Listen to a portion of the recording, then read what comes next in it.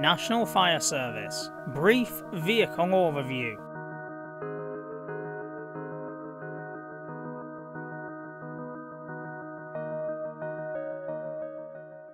In February 1942, the National Fire Service was responsible for about 50,000 vehicles, including 22,000 appliances, 9,000 lorries and vans, 12,000 cars, and 3,000 motorcycles, valued at £10 million. But it hadn't always been that way.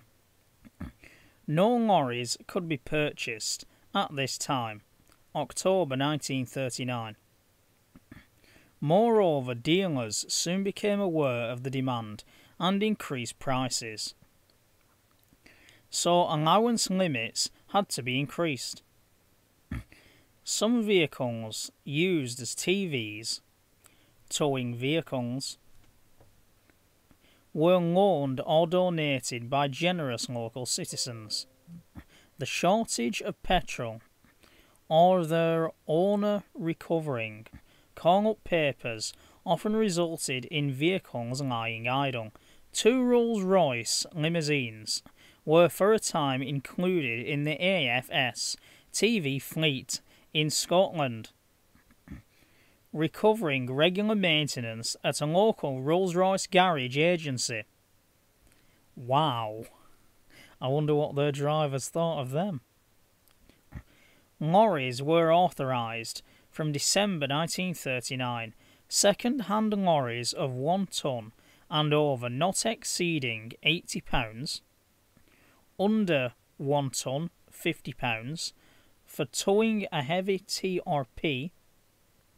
Cars could be used for towing large or light TRP, but even this proved unsatisfactory in many cases. In some places, there was a serious shortage of TV vehicles available on a part time basis, were increasingly relied upon, particularly in Birmingham, Portsmouth, and Bournemouth. The HO reported to the Treasury that TV availability was in a precarious state, so vehicles had to be purchased in the course of 1940. More lorries for carrying hose, dams, and tanks were required. New limits of up to £150 for lorries 1.5 to 2 tonnes, £175 for 2.5 tonnes, and £200 over 5 tonnes were imposed, and local authorities were responsible for obtaining some. So that just shows you, even in early 1940, how ill prepared the country was for war.